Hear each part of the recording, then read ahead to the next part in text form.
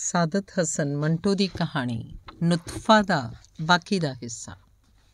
ਇਨ੍ਹਾਂ ਸਾਜ਼ ਸਮਾਨ ਤੇ ਇੰਨੇ ਰਿਸ਼ਤੇ ਹੁੰਦੇ ਹਨ ਕਿ ਆਦਮੀ ਇਹਨਾਂ ਤੋਂ ਛੁਟਕਾਰਾ ਹਾਸਲ ਕਰਨਾ ਚਾਹੇ ਤਾਂ ਪੂਰੀ ਜ਼ਿੰਦਗੀ ਉਸੇ ਕੋਸ਼ਿਸ਼ 'ਚ ਬਸਰ ਹੋ ਜਾਏ। ਪਰ ਇੱਥੇ ਰੰਡੀ ਦੇ ਕੋਠੇ ਉੱਤੇ ਅਜਿਹੀ ਕੋਈ ਮੁਸ਼ਕਲ ਨਹੀਂ। ਆਪਣਾ ਲੀੜਾ ਲੱਤਾ ਤੇ ਟਰੰਕ ਚੁੱਕੋ, ਅਚਕਨ ਮੋਢੇ ਤੇ ਸੁੱਟੋ ਤੇ ਕਿਸੇ ਹੋਟਲ 'ਚ ਜਾ ਕੇ ਬੜੇ ਇਤਮਾਨਾਨ ਨਾਲ ਤਲਾਕ ਦਾ ਕਾਗਜ਼ ਲਿਖ ਕੇ ਰਵਾਨਾ ਕਰ ਦਿਓ। ਇੱਕ ਗੱਲ ਹੋਰ ਰੰਡੀ ਨੂੰ ਸਮਝਣ 'ਚ ਜੇਕਰ ਦਿੱਕਤ ਮਹਿਸੂਸ ਹੋਵੇ ਤਾਂ ਉਹਨੂੰ ਇਸਤੇਮਾਲ ਕਰਨ ਵਾਲੇ ਅਜਿਹੇ ਕਈ ਆਦਮੀ ਮੌਜੂਦ ਹੋਣਗੇ, ਜਿਨ੍ਹਾਂ ਦੇ ਤਜਰਬਿਆਂ ਤੋਂ ਫਾਇਦਾ ਉਠਾਇਆ ਜਾ ਸਕਦਾ ਹੈ। ਫਿਰ ਗਾਉਣਾ ਵਜਾਉਣਾ ਮੁਫਤ ਅਯਾਸ਼ੀ ਦੀ ਐਯਾਸ਼ੀ ਵਿਆਹ ਦਾ ਵਿਆਹ, ਜੀ ਉਕਤਾਇਆ ਤਾਂ ਛੱਡ ਕੇ ਚੱਲਦੇ ਬਣੋ, ਕੋਈ ਇਤਰਾਜ਼ ਨਹੀਂ ਕਰੇਗਾ, ਕੋਈ ਬੁਰਾ ਨਹੀਂ ਕਹੇਗਾ। ਸਗੋਂ ਉਹ ਜੋ ਸ਼ਰੀਫ ਹਨ, ਮਰਹਬਾ ਕਹਿਣਗੇ ਕਿ ਸਵੇਰ ਦਾ ਭੁੱਲਿਆ, ਸ਼ਾਮ ਨੂੰ ਘਰ ਪਰਤ ਆਇਆ।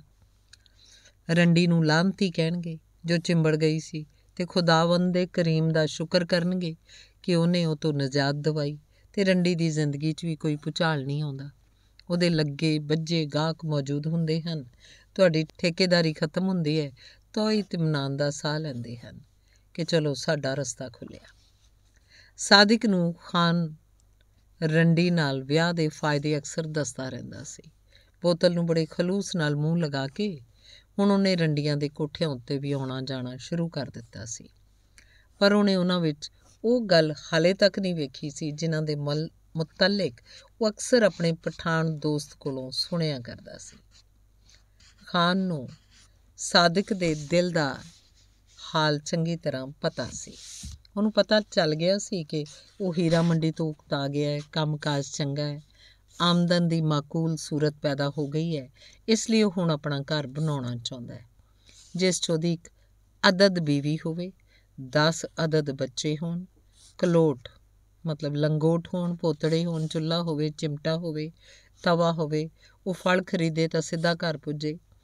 ਸ਼ਰਾਬ ਦੀਆਂ ਬੋਤਲਾਂ ਦੀ ਬਜਾਏ ਦੁੱਧ ਦੀਆਂ ਬੋਤਲਾਂ ਖਰੀਦੇ, ਮਰਾਸੀਆਂ ਤੇ ਭੜੂਆਂ ਦੀ ਬਜਾਏ ਸ਼ਰੀਫ ਸ਼ਰੀਫ ਲੋਕਾਂ ਨੂੰ ਮਿਲੇ ਸ਼ੁਰੂ ਸ਼ੁਰੂ 'ਚ ਤਾਂ ਖਾਨ ਆਪਣੇ ਖਾਸ ਅੰਦਾਜ਼ 'ਚ ਉਹਨੂੰ ਅਜਿਹੇ ਵਾਹੀਆਤ ਕਦਮਾਂ ਤੋਂ ਰੋਕਣ ਦੀਆਂ ਨਰਮ ਨਾਜ਼ੁਕ ਕੋਸ਼ਿਸ਼ਾਂ ਕਰਦਾ ਰਿਹਾ ਪਰ ਜਦੋਂ ਉਹਨੂੰ ਪਤਾ ਚੱਲਿਆ ਕਿ ਉਹਨੇ ਆਪਣੇ ਮਹੱਲੇ 'ਚ ਕਿਸੇ ਨੂੰ ਕੋਈ ਢੁਕਵਾਂ ਰਿਸ਼ਤਾ ਲੱਭਣ ਲਈ ਕਿਹਾ ਹੈ ਤਾਂ ਉਹਨੂੰ ਬਹੁਤ ਕੋਫਤ ਹੋਈ ਸਾਦੇ ਇਹ ਤੁਮ ਕਿਆ ਹਿਮਾਕਤ ਕਰਨੇ ਵਾਲਾ ਹੈ शादी वादी हरगिज़ ना करना ये दुनिया ऐसी है जहाँ किसी वक्त भी तुमको सूबा बदर या शहर बदर कर दिया जा सकता है मैं इतने साल कांग्रेस में रहा।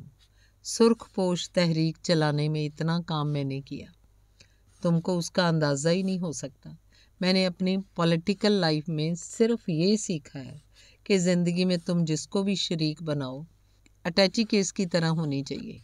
जिसको तुम हाथ में उठाकर चलते हो या उसे वहीं छोड़ दो, वो ज़्यादा कीमती नहीं होनी चाहिए।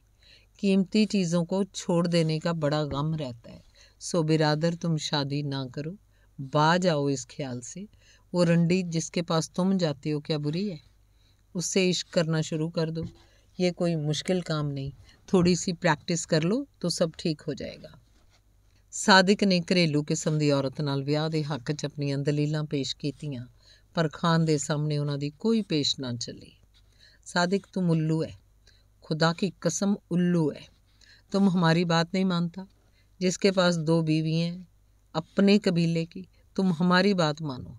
हम तुम्हारा दोस्त है, पठान है, खुदा की कसम खाकर कहता है कि हम झूठ नहीं बोलता। ये दुनिया जिसमें हम जैसे मुखलिस आदमी को सूबा बदर करने वाले हाके मौजूद हैं, उसमें रंडी के कोठे ही को अपना घर बनाना चाहिए। हमको तो यहाँ बहुत आराम है। तुम भी हीरा मंडी में अपना घर बना लो और आराम करो। सादिक अजीब उलझन गिरफ़्तार सी। ਮੈਨੂੰ ਮਿਲ ਕੇ ਉਹ ਘੰਟਾ ਗੱਲਾਂ ਕਰਦਾ ਰਹਿੰਦਾ। ਉਹ ਹੀਰਾ ਮੰਡੀ ਦੇ ਸਖਤ ਖਿਲਾਫ ਸੀ। ਪਰ ਥੋੜੀ ਦੇਰ ਤੋਂ ਬਾਅਦ ਮੈਂ ਮਹਿਸੂਸ ਕੀਤਾ ਕਿ ਇਹਦਾ ਕਾਇਲ ਹੁੰਦਾ ਜਾ ਰਿਹਾ ਹੈ। ਕਿਉਂਕਿ ਹੁਣ ਉਹ ਖਾਨ ਦੀਆਂ ਕਈਆਂ ਹੋਈਆਂ ਗੱਲਾਂ ਐਵੇਂ ਸੁਣਾਉਂਦਾ ਸੀ, ਜਿਵੇਂ ਉਹਦੇ ਦਿਲ ਲੱਗ ਚੁੱਕੀਆਂ ਹੋਣ। ਸੋ ਇੱਕ ਰੋਜ਼ ਉਹਨੇ ਮੈਨੂੰ ਕਿਹਾ, ਮੈਂ ਸਾਰੀ ਉਮਰ ਠੇਕੇਦਾਰੀ ਕੀਤੀ ਹੈ ਤੇ ਠੇਕੇਦਾਰੀ ਨਾਲੋਂ ਵੱਧ ਕੇ ਬੇਈਮਾਨੀ ਦਾ ਹੋਰ ਕੋਈ ਕੰਮ ਨਹੀਂ ਹੋ ਸਕਦਾ। ਉਹਦਾ ਅਵਲ ਖੋਟ, ਉਹਦਾ ਆਖਰ ਖੋਟ, ਇਹ ਅਜਿਹਾ ਬਾਜ਼ਾਰ ਹੈ ਜਿਸ 'ਚ ਕੋਈ ਖਰਾ ਸਿੱਕਾ ਨਹੀਂ ਚੱਲ ਸਕਦਾ। ਸੁਣਿਆ, ਵਲਾਇਤ ਵਿੱਚ ਅਜਿਹੀਆਂ ਮਸ਼ੀਨਾਂ ਬਣੀਆਂ ਜਿਨ੍ਹਾਂ 'ਚ ਜੇਕਰ ਖੋਟੇ ਸਿੱਕੇ ਪਾਏ ਜਾਣ ਤਾਂ ਬਾਹਰ ਕੱਢ ਦਿੰਦੀਆਂ, ਪਰ ਠੇਕੇਦਾਰੀ ਅਜਿਹੀ ਮਸ਼ੀਨ ਹੈ, ਜਿਸ 'ਚ ਜੇਕਰ ਖਰੇ ਸਿੱਕੇ ਪਾਏ ਜਾਣ ਤਾਂ ਕਬੂਲ ਨਹੀਂ ਕਰੇਗੀ।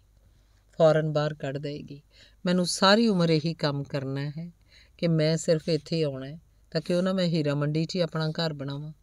ਉੱਥੇ ਖਰੇ ਸਿੱਕੇ ਚੱਲਦੇ ਹੈ, ਪਰ ਉਹਨਾਂ ਦੇ ਇਵਜ਼ ਜੋ ਮਾਲ ਮਿਲਦਾ ਉਸ 'ਚ ਸਿਰਫ ਖੋਟ ਹੀ ਖੋਟ ਹੁੰਦੀ ਹੈ। ਮੈਂ ਸਮਝਦਾ ਮੇਰੀ ਰੂਹਾਨੀ ਤਸਕੀਨ ਲਈ ਉੱਥੇ ਦੀ ਫਿਜ਼ਾ ਚੰਗੀ ਰਹੇਗੀ। ਫਿਰ ਇੱਕ ਦਿਨ ਉਹਨੇ ਮੈਨੂੰ ਦੱਸਿਆ, ਖਾਨ ਬਹੁਤ ਖੁਸ਼ ਹੈ। ਉਹਦੀਆਂ ਦੋਨੋਂ ਬੀਵੀਆਂ ਉੱਥੇ ਸਰਹੱਦ 'ਚ, ਉਹਦੇ ਘਰ 'ਚ ਖੁਸ਼ ਹਨ। ਉਹਦੀ ਔਲਾਦ ਵੀ ਖੁਸ਼ ਹੈ। ਉਹਨਾਂ ਦੀ ਖੈਰ ਖੈਰੀਅਤ ਆਪਣੇ ਮੈਨੇਜਰ ਦੇ ਜ਼ਰੀਏ ਪਤਾ ਲੱਗਦੀ ਰਹਿੰਦੀ ਹੈ। ਇੱਥੇ ਹੀਰਾ ਮੰਡੀ, ਉਹਦੀ ਰੰਡੀ ਵੀ ਖੁਸ਼ ਹੈ, ਉਹਦੀ ਮਾਂ ਵੀ ਖੁਸ਼ ਹੈ, ਉਹਦੀ ਭੂਆ ਵੀ ਖੁਸ਼ ਹੈ, ਉਹਦੇ ਮਰਾਸੀ ਵੀ ਖੁਸ਼ ਹਨ ਤੇ ਸਭ ਤੋਂ ਵੱਡੀ ਗੱਲ ਤਾਂ ਇਹ ਹੈ ਕਿ ਖਾਨ ਖੁਸ਼ ਹੈ। ਕਦੇ-ਕਦੇ ਉਹਨਾਂ ਹਾਕਮਾਂ ਦੇ ਖਿਲਾਫ ਇੱਕ ਬਿਆਨ ਅਖਬਾਰਾਂ 'ਚ ਛਾਇਆ ਕਰ ਦਿੰਦਾ ਹੈ, ਜਿਨ੍ਹਾਂ ਨੇ ਉਹਨੂੰ ਸੂਬਾ ਬਦਰ ਕੀਤਾ ਸੀ ਤੇ ਆਪਣੀ ਰੰਡੀ ਨੂੰ ਸੁਣਾ ਦਿੰਦਾ ਹੈ, ਉਹ ਵੀ ਖੁਸ਼ ਹੋ ਜਾਂਦੀ ਹੈ। ਉਸ ਰਾਤ ਗਾਉਣ ਵਜਾਉਣ ਦੀ ਮਹਿਫਿਲ ਗਰਮ ਹੁੰਦੀ ਹੈ ਤੇ ਖਾਨ ਮਸਨਦ ਉੱਤੇ ਗਾਵ ਤਕੀਏ ਦਾ ਸਹਾਰਾ ਲੈ ਕੇ ਐਵੇਂ ਬੈਠਦਾ ਜਿਸ ਤਰ੍ਹਾਂ ਇੱਕ ਤਮਾਸ਼ਬੀਨ। ਉਸਤਾਦ ਸਾਹਿਬ ਤੇ ਮਰਾਸੀਆਂ ਨਾਲ ਇਸ ਤਰ੍ਹਾਂ ਗੱਲਾਂ ਕਰਦਾ ਜਿਵੇਂ ਉਹਨੇ ਨਵੀਂ-ਨਵੀਂ ਤਮਾਸ਼ਬੀਨੀ ਸ਼ੁਰੂ ਕੀਤੀ ਹੈ। ਉਹਦੀ ਰੰਡੀ ਮੁਜਰਾ ਕਰਦੀ ਹੈ ਤੇ ਉਹ ਜੇਬ 'ਚ ਹੱਥ ਪਾ ਕੇ ਉਹਨੂੰ 10 ਰੁਪਏ ਦਾ ਨੋਟ ਦਿੰਦਾ ਹੈ, ਫਿਰ 5 ਦਾ, ਫਿਰ 2 ਦਾ, ਫਿਰ 1 ਰੁਪਏ ਵਾਲਾ। ਇਹਦੇ ਬਾਅਦ ਉਹ ਮਹਿਫਿਲ ਬਰਖਾਸਤ ਕਰ ਦਿੰਦਾ ਹੈ ਤੇ ਉਸ ਰੰਡੀ ਦੇ ਨਾਲ ਸੌ ਜਾਂਦਾ ਹੈ ਤੇ ਉਸ ਨਿਕਾਹੀ ਔਰਤ ਦੇ ਨਾਲ ਅਜਿਹੀ ਰਾਤ ਬਸਰ ਕਰਦਾ ਹੈ ਜੋ ਗੁਨਾਹਾਂ ਨਾਲ ਲਿਬੜੀ ਹੋਵੇ। ਮੈਂ ਤਾਂ ਸਮਝਦਾ ਇਹ ਬੜੇ ਮਜ਼ੇ ਦੀ ਚੀਜ਼ ਹੈ। ਪਰ ਜਦੋਂ ਰੰਡੀ ਨਾਲ ਵਿਆਹ ਦਾ ਸਵਾਲ ਪੈਦਾ ਹੋਇਆ ਯਾਨੀ ਖਾਨ ਸਾਹਿਬ ਨੇ ਸਭ ਮਾਮਲਾ ਤਿਆਰ ਕਰ ਦਿੱਤਾ ਤੇ ਸਿਰਫ ਇੱਕ ਦੂਜੇ ਨੂੰ ਕਬੂਲ ਕਰਨ ਦੀ ਰਸਮ ਬਾਕੀ ਰਹਿ ਗਈ ਤਾਂ ਸਾਦਿਕ ਪਿੱਛੇ ਹਟ ਗਿਆ ਖਾਨ ਅੱਗ ਬਗੂਲਾ ਹੋ ਗਿਆ ਮੇਰੇ ਸਾਹਮਣੇ ਉਹਨੇ ਸਾਦਕੇ ਦੀ ਬਹੁਤ ਝਾੜ ਝੰਬ ਕੀਤੀ तुम्हारी समझ पर पत्थर पड़ गया है सादिक तुम उल्लू के पट्टे हो शरीफ औरत से शादी करके खुदा की कसम तुम पछताओगे ये दुनिया ऐसी नहीं है परवरदिगार की कसम जिसमें शराफत से शादी की जाए उसमें रंडी चंगी रहती है, तुम शरीफ ना बनो। याद रखो, अगर तुम शरीफ बन गए तो सूबा बदर कर दिए जाओगे। तुम हीरा मंडी में रहो। यहाँ सिर्फ़ एक सूबा है, जिसमें से तुम बदर नहीं किए जा सकते। इसलिए कि इसके साथ कोई हाकिम अपना रिश्ता कायम नहीं करेगा। तुम गधे हो। अपना घर यहीं बनाओ। इससे बेहतर जगह तुम्हें और कोई नहीं मिल सकती। सादिक ने अपने मोहल्ले च एक जगह गल पक्की कर ली सी। ਜਦੋਂ ਖਾਨ ਨੇ ਉਹਨੂੰ ਸਮਝਾਇਆ ਬੁਝਾਇਆ ਤਾਂ ਉਹਨੇ ਆਪਣਾ ਇਰਾਦਾ ਤਰਕ ਕਰ ਦਿੱਤਾ, ਪਰ ਉਹ ਰੰਡੀ ਨਾਲ ਵਿਆਹ ਕਰਨ ਲਈ ਤਿਆਰ ਨਾ ਹੋਇਆ। ਉਹਨੇ ਮੈਨੂੰ ਕਿਹਾ, ਮੈਂ ਹੁਣ ਵਿਆਹ ਦਾ ਖਿਆਲ ਹੀ ਛੱਡ ਦਿੱਤਾ ਹੈ। ਮੈਂ ਖਾਨ ਦਾ ਕਹਿਣਾ ਜ਼ਰੂਰ ਮੰਨ ਲੈਂਦਾ, ਪਰ ਮੇਰਾ ਦਿਲ ਨਹੀਂ ਮੰਨਦਾ।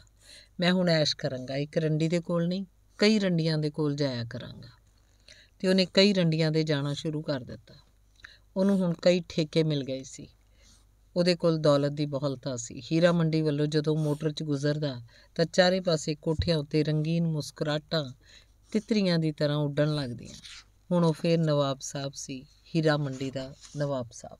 ਪੂਰੇ 3 ਸਾਲ ਤੱਕ ਉਹ ਖੇਡ ਖੇਡਦਾ ਰਿਹਾ। ਮੇਰਾ ਖਿਆਲ ਹੈ ਸ਼ਾਇਦ ਖਾਨ ਦੀ ਉਸ ਕੋਸ਼ਿਸ਼ ਦਾ ਅਸਰ ਸੀ ਜੋ ਨੇ ਸਾਦਿਕ ਨੂੰ ਆਪਣੇ ਸਾਂਝੇ 'ਚ ਢਾਲਣ ਲਈ ਕੀਤੀ ਸੀ। ਉਹ ਚਾਹੁੰਦਾ ਸੀ ਆਪਣੇ ਤਜਰਬਿਆਂ ਦਾ ਨਿਚੋੜ ਉਹਦੇ ਹਲਕ ਵਿੱਚ ਪਾ ਕੇ ਉਹਨੂੰ ਆਪਣੇ ਵਰਗਾ ਬਣਾ ਲਏ। ਪਰ ਉਹਦਾ ਨਤੀਜਾ ਇਹ ਨਿਕਲਿਆ ਕਿ ਸਾਦਕ ਇੱਧਰ ਦਾ ਰਿਹਾ ਨਾ ਉੱਧਰ ਦਾ। ਉਹ ਪੂਰਾ ਉਹ ਬਾਸ਼ ਬਣ ਗਿਆ। ਜਿਸ ਰਸਤੇ ਨਾਲ ਉਹਨੂੰ ਨਫ਼ਰਤ ਸੀ, ਉਸੇ ਦਾ ਅਣਥੱਕ ਮੁਸਾਫਰ ਬਣ ਗਿਆ। ਮੈਂ ਉਹਨੂੰ ਬਾਰ-ਬਾਰ ਸਮਝਾਇਆ ਕਿ ਵੇਖ ਸਾਦਕ, ਬਾਜ਼ ਆ ਜਾ। ਆਪਣੀ ਜਵਾਨੀ, ਆਪਣੀ ਸਿਹਤ, ਆਪਣੀ ਦੌਲਤ ਐਵੇਂ ਬਰਬਾਦ ਨਾ ਕਰ। ਪਰ ਉਹ ਨਾ ਮੰਨਿਆ। ਮੇਰੀਆਂ ਗੱਲਾਂ ਸੁਣਦਾ, ਮੁਸਕਰਾ ਦਿੰਦਾ। ਮੇਰੀ ਦੁਨੀਆ ਖੋਟ ਦੀ ਦੁਨੀਆ ਹੈ। ਇਸ ਵਿੱਚ 1 ਬਟਾ 100 ਹਿੱਸਾ ਸੀਮੈਂਟ ਹੁੰਦਾ ਹੈ, ਬਾਕੀ ਸਭ ਰੇਤ ਤੇ ਉਹ ਵੀ ਜਿਸ 'ਚ ਅੱਧੀ ਮਿੱਟੀ ਹੁੰਦੀ ਹੈ। ਮੇਰੀ ਠੇਕੇਦਾਰੀ 'ਚ ਜੋ ਇਮਾਰਤ ਬਣਦੀ ਹੈ, ਉਹਦੀ ਉਮਰ ਜੇਕਰ ਕਾਗਜ਼ ਉੱਪਰ 50 ਸਾਲ ਹੈ, ਤਾਂ ਜ਼ਮੀਨ ਉੱਤੇ 10 ਸਾਲ ਹੁੰਦੀ ਹੈ। ਮੈਂ ਆਪਣੇ ਲਈ ਪੁਖਤਾ ਘਰ ਕਿਵੇਂ ਉਸਾਰ ਸਕਦਾ ਰੰਡੀਆਂ ਠੀਕ ਹਨ। ਮੈਂ ਸੁਸਾਇਟੀ ਦੇ ਉਸ ਮਲਬੇ ਦਾ ਵੀ ਠੇਕਾ ਲੈ ਰੱਖਿਆ ਹਰ ਰੋਜ਼ ਇੱਕ ਨਾ ਇੱਕ ਬੋਰੀ ਢੋ ਕੇ ਠਿਕਾਣੇ ਲਗਾ ਦਿੰਦਾ ਉਹ ਬੋਰੀਆਂ ਢੋ ਢੋ ਕੇ ਆਪਣੀ ਦਾਨਿਸਤ ਵਿੱਚ ਠਿਕਾਣੇ ਲਾਉਂਦਾ ਰਿਹਾ। ਮੈਂ ਉਹਨੂੰ ਮਿਲਣਾ ਜੁਲਣਾ ਬੰਦ ਕਰ ਦਿੱਤਾ। ਉਹ ਬਹੁਤ ਬਦਨਾਮ ਹੋ ਚੁੱਕਿਆ ਸੀ। ਉਹਨੂੰ ਪਤਾ ਸੀ ਕਿ ਮੈਂ ਉਸ ਨਾਲ ਨਾਰਾਜ਼ ਹਾਂ, ਪਰ ਉਹਨੇ ਮੈਨੂੰ ਮਨਾਉਣ ਦੀ ਕੋਸ਼ਿਸ਼ ਨਾ ਕੀਤੀ। ਡੇਢ ਸਾਲ ਤੋਂ ਬਾਅਦ ਇੱਕ ਦਿਨ ਅਚਾਨਕ ਉਹ ਮੇਰੇ ਕੋਲ ਆਇਆ। ਅਜਿਹਾ ਲੱਗਦਾ ਸੀ ਕਿ ਬਹੁਤ ਜ਼ਰੂਰੀ ਗੱਲ ਕਹਿਣੀ ਚਾਹੁੰਦਾ ਹੈ, ਪਰ ਨਹੀਂ ਕਹਿ ਸਕਦਾ। ਮੈਂ ਉਹਨੂੰ ਪੁੱਛਿਆ, ਕੁਝ ਕਹਿਣ ਆਇਆ? ਉਹਨੇ ਜਵਾਬ ਦਿੱਤਾ, ਹਾਂ, ਮੈਂ ਵਿਆਹ ਕਰ ਰਿਹਾ ਕਿਸ ਨਾਲ? ਇੱਕ ਰੰਡੀ ਨਾਲ। ਮੈਨੂੰ ਬਹੁਤ ਗੁੱਸਾ ਆਇਆ। ਬਕ ਨਾ। ਉਹਨੇ ਬੜੀ ਸੰਜੀਦਗੀ ਨਾਲ ਕਿਹਾ। ਮੈਂ ਮਜਬੂਰ ਹੋ ਗਿਆ। ਮੈਂ ਚਿੜ ਗਿਆ। ਮਜਬੂਰੀ ਕਿਸ ਗੱਲ ਦੀ? ਸਾਦਿਕ ਨੇ ਸਿਰ ਝੁਕਾ ਕੇ ਕਿਹਾ। ਉਹਦੇ ਨੁਤਫਾ ਠਹਿਰ ਗਿਆ ਇਹ ਸੁਣ ਕੇ ਮੈਂ ਖਾਮੋਸ਼ ਹੋ ਗਿਆ। ਉਹਨੂੰ ਕੀ ਕਹਾਂ? ਕੁਝ ਸਮਝ 'ਚ ਨਹੀਂ ਆਉਂਦਾ ਸੀ। ਸਾਦਿਕ ਨੇ ਆਪਣਾ ਝੁਕਿਆ ਹੋਇਆ ਸਿਰ ਉਠਾਇਆ ਤੇ ਕਹਿਣਾ ਸ਼ੁਰੂ ਕੀਤਾ। ਮੈਂ ਮਜਬੂਰ ਹੋ ਗਿਆ। ਵਿਆਹ ਤੋਂ ਸਿਵਾ ਹੁਣ ਹੋਰ ਕੋਈ ਚਾਰਾ ਨਹੀਂ। ਸਾਦਿਕ ਨੇ ਉਸ ਰੰਡੀ ਨਾਲ ਵਿਆਹ ਕਰ ਲਿਆ। ਪਰ ਉਹਦੇ ਕੋਠੇ ਨੂੰ ਉਹਨੇ ਆਪਣਾ ਘਰ ਨਹੀਂ ਬਣਾਇਆ। ਉਹਨਾਂ ਲੋਕਾਂ ਨੇ ਇਹ ਰੰਡੀ ਜਿਨ੍ਹਾਂ ਦੀ ਰੋਜ਼ੀ ਦਾ ਠੀਕਰਾ ਸੀ, ਬਹੁਤ ਦੰਗਾ ਫਸਾਦ ਕੀਤਾ। ਪਰ ਉਹਨੇ ਕੋਈ ਪਰਵਾਹ ਨਾ ਕੀਤੀ। ਹਜ਼ਾਰਾਂ ਰੁਪਏ ਪਾਣੀ ਦੀ ਤਰ੍ਹਾਂ ਵਹਾ ਦਿੱਤੇ ਤੇ ਆਖਰ ਕਾਮਯਾਬ ਹੋ ਗਿਆ। ਉਸ ਰੰਡੀ ਦੇ ਪੇਟੋਂ ਇੱਕ ਕੁੜੀ ਪੈਦਾ ਹੋਈ। ਉਹਦੇ ਜਨਮ ਦੇ 6 ਮਹੀਨੇ ਬਾਅਦ ਸਾਦਿਕ ਦੇ ਦਿਲ 'ਚ ਪਤਾ ਨਹੀਂ ਕੀ ਆਈ। ਉਹਨੇ ਰੰਡੀ ਨੂੰ ਤਲਾਕ ਦੇ ਦਿੱਤਾ ਤੇ ਉਹਨੂੰ ਕਿਹਾ ਤੇਰਾ ਅਸਲ ਮੁਕਾਮ ਇਹ ਘਰ ਨਹੀਂ, ਹੀਰਾ ਮੰਡੀ ਹੈ। ਜਾ ਇਸ ਕੁੜੀ ਨੂੰ ਵੀ ਆਪਣੇ ਨਾਲ ਲੈ ਜਾ। ਇਹਨੂੰ ਸ਼ਰੀਫ ਬਣਾ ਕੇ ਮੈਂ ਤੁਸੀਂ ਲੋਕਾਂ ਦੇ ਕੰਮਕਾਰ ਦੇ ਨਾਲ ਜ਼ੁਲਮ ਕਰਨਾ ਨਹੀਂ ਚਾਹੁੰਦਾ। ਮੈਂ ਖੁਦ ਕਾਰੋਬਾਰੀ ਆਦਮੀ ਹਾਂ। ਇਹ ਨੁਕਤੇ ਚੰਗੀ ਤਰ੍ਹਾਂ ਸਮਝਦਾ ਹਾਂ। ਜਾ, ਖੁਦਾ ਮੇਰੇ ਇਸ ਨੁਤਫੇ ਦੇ ਭਾਗ ਚੰਗੇ ਕਰੇ। ਪਰ ਵੇਖ, ਇਹਨੂੰ ਨਸੀਹਤ ਦਿੰਦੀ ਰਹੀ ਕਿ ਕਿਸੇ ਨਾਲ ਵਿਆਹ ਦੀ ਗਲਤੀ ਕਦੇ ਨਾ ਕਰੇ। ਇਹ ਗਲਤ ਚੀਜ਼ ਹੈ। ਪਤਾ ਨਹੀਂ ਜੋ ਕੁਝ ਮੈਂ ਬਿਆਨ ਕੀਤਾ ਹੈ, ਸਾਦਕੇ ਦੇ ਬਾਰੇ ਜ਼ਿਆਦਾ ਹੈ ਜਾਂ ਖਾਨ ਦੇ ਬਾਰੇ, ਜੋ ਵੀ ਹੋਵੇ, ਮੈਨੂੰ ਇਹ ਦੋਨੋਂ ਉਸੇ ਸਫ ਦੇ ਆਦਮੀ ਲੱਗਦੇ ਹਨ, ਜਿਸ 'ਚ ਤੁਹਾਡਾ ਬਾਊ ਗੋਪੀਨਾਥ ਹੈ ਤੇ ਇਸ ਦੁਨੀਆ 'ਚ ਜਿੱਥੇ ਸੂਬਾ ਬਦਰ ਤੇ ਸ਼ਹਿਰ ਬਦਰ ਕੀਤਾ ਜਾ ਸਕਦਾ ਹੈ, ਅਜਿਹੇ ਆਦਮੀ ਜ਼ਰੂਰ ਹੋਣੇ ਚਾਹੀਦੇ ਹਨ, ਜਿਨ੍ਹਾਂ ਨੂੰ ਸੋਸਾਇਟੀ ਆਪਣੇ ਤੇ ਆਪਣੇ ਬਣਾਏ ਹੋਏ ਕਾਨੂੰਨਾਂ ਦੇ ਮੂੰਹ ਉੱਤੇ ਥੱਪੜ ਦੇ ਤੌਰ ਤੇ ਕਦੇ-ਕਦੇ ਮਾਰ ਸਕੇ। Tanwa